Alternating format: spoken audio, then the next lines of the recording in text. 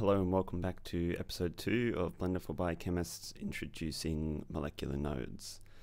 So in the previous video I showed you how to do the basic installation of molecular nodes. Today we're going to show you how to do some basic animations. Now from last video I've just updated molecular nodes to 0.8.1 to fix a small bug with Eevee but so if you reinstall from that most of it should be fine. It's only if you try and display the atoms in Eevee that you get an error um, that is fixed in this version. Let's download a structure, download an NMR structure from the PDB that has multiple states.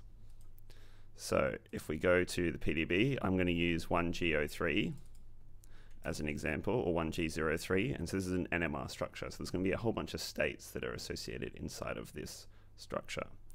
So if we go into Blender, go to molecular nodes, and I just paste that in there, 1G03, and I click download.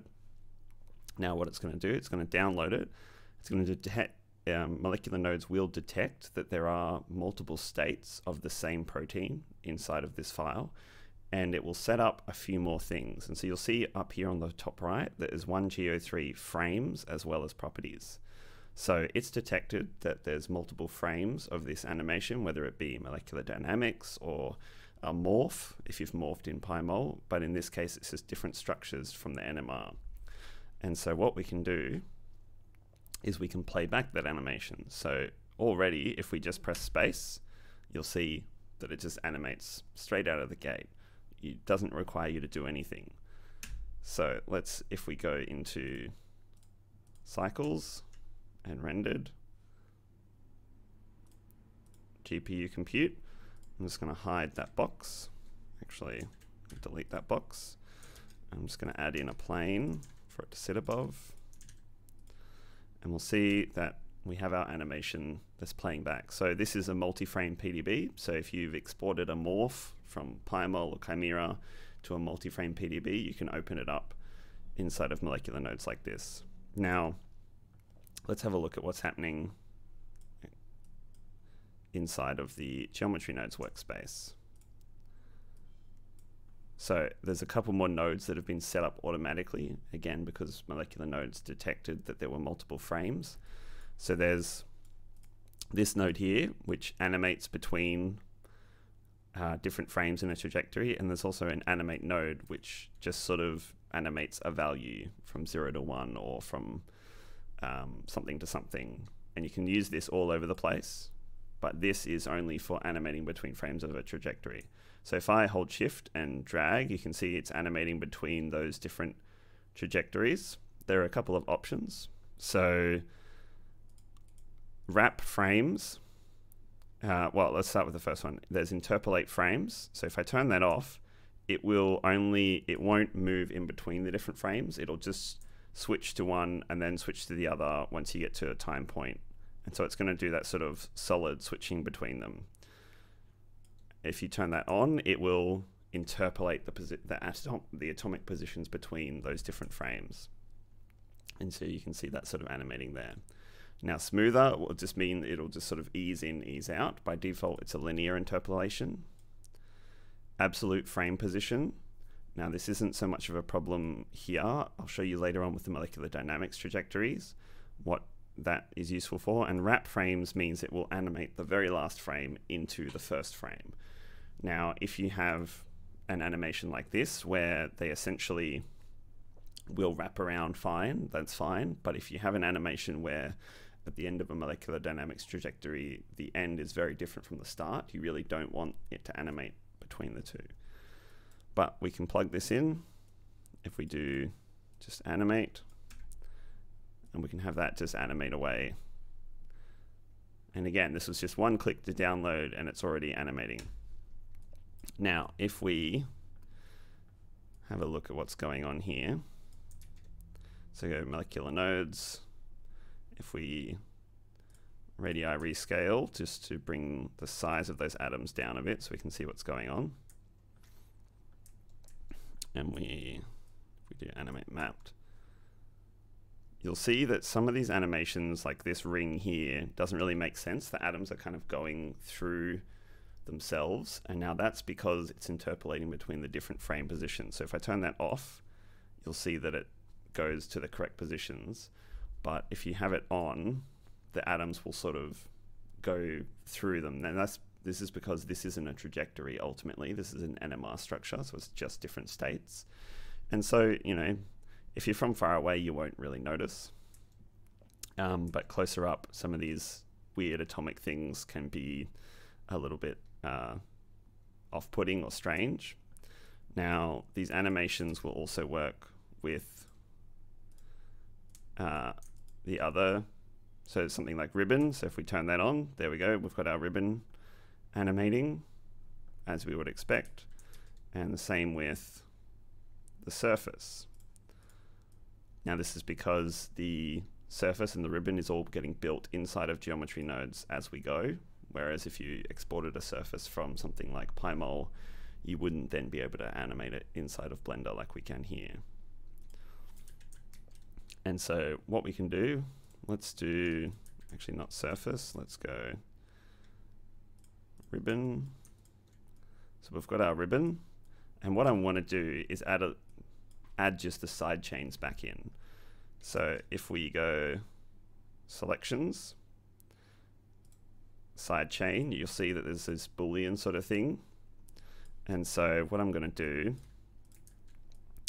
is we're going to selections atoms. So this lets us this lets us select particular atoms. Now you'll see that the input is atoms and the output from this ribbon is ribbon. That's because the output of this node is actually a mesh and we can't do anything with that. So we're going to need to work with the actual atoms themselves. And if we select our side chains and we just look at that and we, if we radii rescale that, you can see that it's all just the side chains and it's not the actual backbone. We could do the side chains sans the alpha carbon, but we want the side chains including the alpha carbon. And so we've got all of our um, side chains there. We want to add some sticks. And so again, we don't have any bond information. And so if we go properties, find bonds, and then plug that in, you can see that we're finding the bonds. Now, what you can also see is that as it moves in between the different um, positions, it's finding bonds because the atoms are sort of overlapping. So, so it's finding these sort of bonds that wouldn't exist because these atoms are doing weird movements. So let's turn our interpolate frames off and then that works fine. So now if we join geometry and join it up with our ribbon. We've got our side chains with our backbone as a ribbon and then we can also join up our actual atoms. And so there we go. We've got our ball and stick side chains and our uh, ribbon backbone and this is playing through our animation. So that's a quick example for downloading something from the PDB. Let's now open a local file.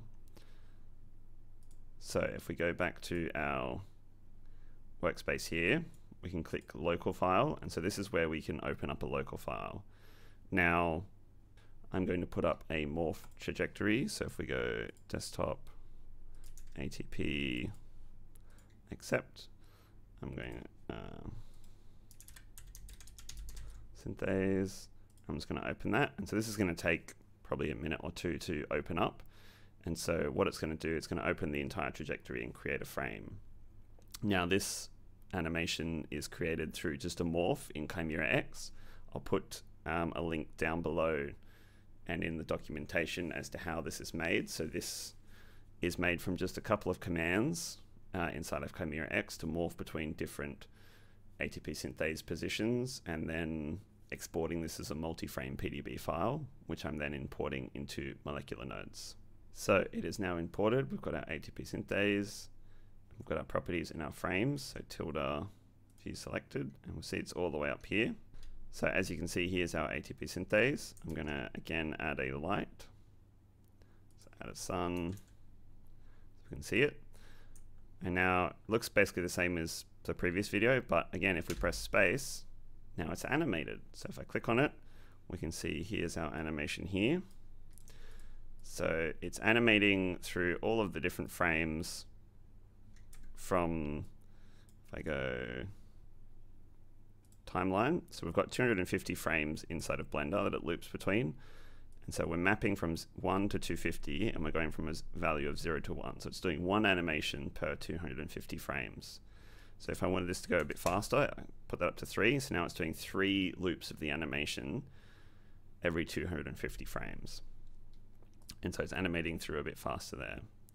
Now, if I wanted this, if I go styling ribbon, so, and I go down to material preview, so we can see it's made our ribbons and it's now animating between them. Now, this is only at 13 frames per second and it's chugging a bit. And if we turn on our timings, you can see that some parts of this 20 milliseconds is going a bit slow. If we go to solid view, that should speed things up a little. But we are now animating ATP synthase. So in this case, what we can do is, because it's hard to move ATP synthase around, I can turn off the absolute frame positions, and now it's much easier. It'll be centered uh, where I would expect it to be. So let's hide that other protein. And so here's our ATP synthase animating through. Now, if we turn off our ribbons, we see all of our atoms here. One of the whole reasons I wanted to try and get proteins into um, geometry nodes is that you can do anything you can do inside of geometry nodes now with the atomic information. So if we go set position, and so again, we're starting to really get into geometry nodes. You'll probably want to look at previous tutorials. But this will change the position of the atoms, but we want it to be on a per atom basis. So if we go animation noise, and we go lots of noise, so you can see all of the atoms are going crazy. Now, this isn't, this is or isn't what you're after maybe, but you can do a little appearing, disappearing animation, but what we want to do is we want to selectively apply that. So if we go vector math, scale, we can apply that from 0 to 1. And if we do animation object effect, and we create an empty sphere, we eyedropper that empty. Just click that, scale to there. Now, if we click the empty and we scale that up, you can see that the effect is applied where the empty is. So we can animate this to come down. And so while the animation's appearing, go all like this.